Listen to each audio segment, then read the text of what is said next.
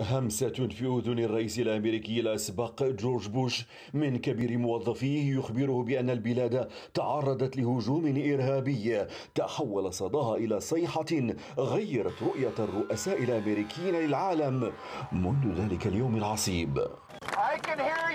أستطيع سماعكم وباقي العالم يسمعكم.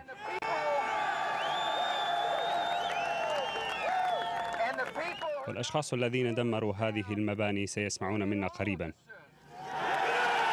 هجمات دفعت رئيسا لم يكمل عامه الأول في البيت الأبيض إلى تغيير ملامح السياسة الداخلية والخارجية وإعلان حرب طويلة ضد الإرهاب انطلقت شرارتها الأولى من أفغانستان.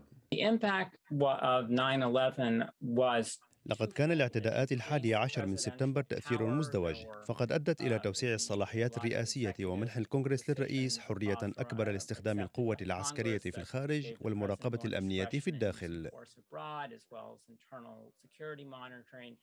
حرب ورثها خلفه باراك أوباما ورغم تحفظاته على الانخراط العسكري الأمريكي طويل الأمد كثف أوباما العمليات الخاصة واستهداف الإرهابيين بطائرات مسيرة ضمن استراتيجية تكللت بالقضاء على زعيم تنظيم القاعدة أسامة بن لادن في باكستان. ثم سرعان ما انتقل التركيز إلى تنظيم داعش في سوريا والعراق.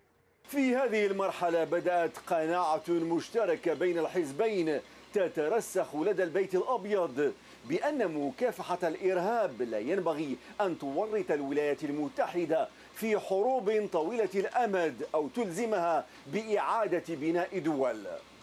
تصفية زعيم داعش أبو بكر البغدادي في عملية خاصة محدودة النطاق. لم تكن وعدا انتخابيا للرئيس دونالد ترامب فحسب بل هي أيضا من هام إنجازات سنواته الأربع في البيت الأبيض. ثم جاء الرئيس الأمريكي الرابع منذ اعتداءات الحادي عشر من سبتمبر ليحيي ذكراها العشرين بالانسحاب التام من أفغانستان. وطي صفحة أطول الحروب الأمريكية. كقائد أعلى للقوات المسلحة أعتقد بقوة أن السبيل الأفضل لحماية أمننا وسلامتنا هو استراتيجية حازمة ومحددة الأهداف لأن التهديد الإرهابي اليوم موجود في أماكن غير التي كان فيها قبل عقدين من الزمن. ولعل عدم تعرض البلاد لهجوم إرهابي آخر بحجم اعتداءات الحادي عشر من سبتمبر.